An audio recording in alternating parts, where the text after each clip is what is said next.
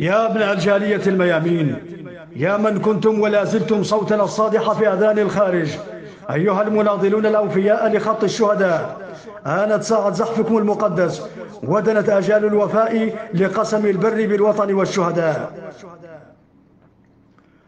أيها المواطنون الصحراويون بديار المهجر وببلاد البسك خاصة يا من راسمتم الوطن بألوان العلم في كل المدن والعواصم الأوروبية وصنعتم الحدث في كل وسائل الإعلام الدولية وأرغمتموها على الحديث عن القضية الوطنية في أكثر من مناسبة رغم الظروف الصعبة وتواطؤ بعض الأنظمة الأوروبية. يا فرسان الرسالة ورسل القضية.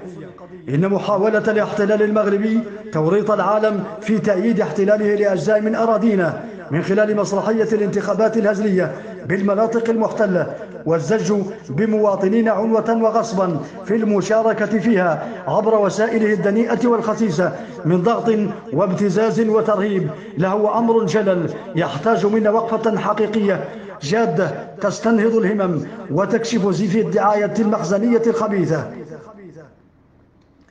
يا أحرار الشعب الصحراوي وحرائره.